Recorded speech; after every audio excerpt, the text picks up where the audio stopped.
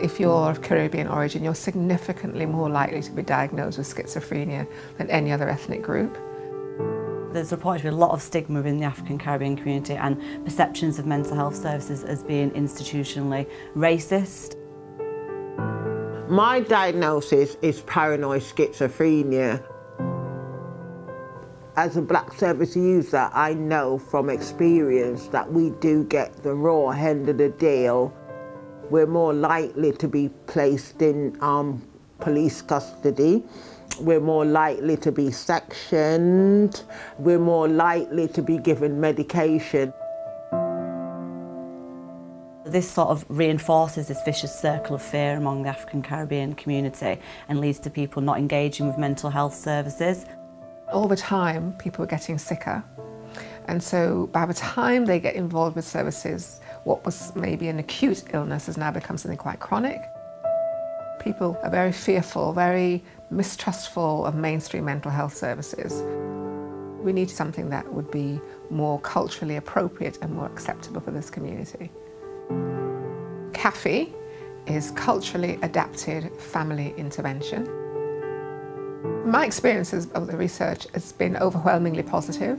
One of the most um, positive things has been the level of engagement with the community. Going to the drop-in at African Caribbean Mental Health Services and talking to service users about what would help them.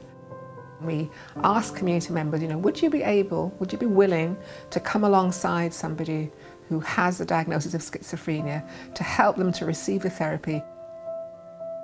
I've suffered from mental illness myself I want to help others who are still in that place because I know how difficult it can be. I'm involved in the project because I wanted to know more about helping my brother. He was diagnosed 30 years ago with schizophrenic.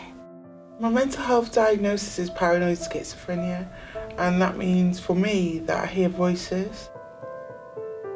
I was offered a course of sessions with a psychologist so I had that and that really helped me a lot. My role was to deliver the culturally informed psychological intervention. I think I really underestimated some of the obstacles that people from African Caribbean backgrounds face until I really listened and really asked questions. Because it's a speaking therapy, I thought it'd be good for my brother. Before CAFI, he never really spoke about how he felt or what's happened to him throughout the years. Overall, it's been amazing. I offered my support, I offered my perspectives, um, and although that might seem like quite a small role, I think did have quite a big impact on the service user. You're helping other people, and in my case especially, other black people, to have a less, a less damaging experience of psychiatric service. Working alongside service users who also experience psychosis but from a different culture really opened my eyes to the importance of culture in understanding people's difficulties. We really wanted to make sure that the research was being delivered and it was designed in a way that actually met the needs of African Caribbean people. Um, and so um, getting feedback from community members and service users and carers of African Caribbean background was really, really important to us.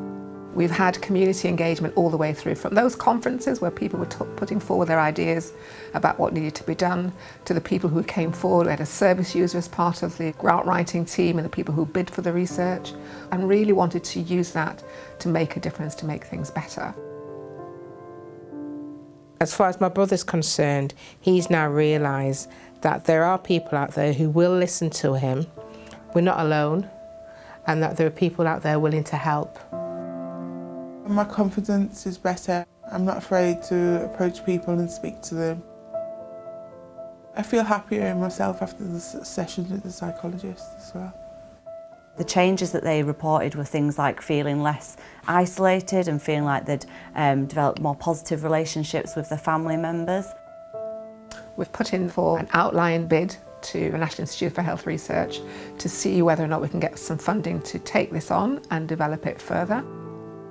Service users, families, carers and the therapists have all said they would like to see this rolled out nationally I would urge any colleague to take part in the CAFI study.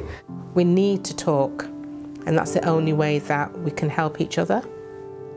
If there's people out there thinking about getting involved with CAFI, they should stop thinking and just do it.